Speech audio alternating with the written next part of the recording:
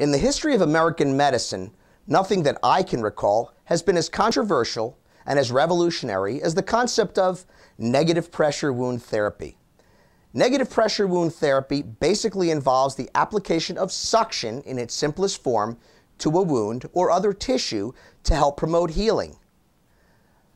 The concept of using negative pressure to promote healing has been around for centuries.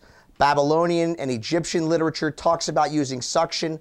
The Chinese, of course, used cupping to help bring healthy humors to the tissues.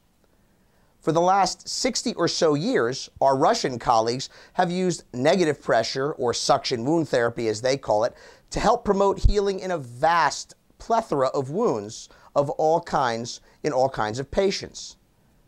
In the mid 1990s in the United States, the first commercially available negative pressure wound therapy was produced by a company called Kinetic Concepts out of San Antonio, Texas. This was and still remains the predominant form of negative pressure.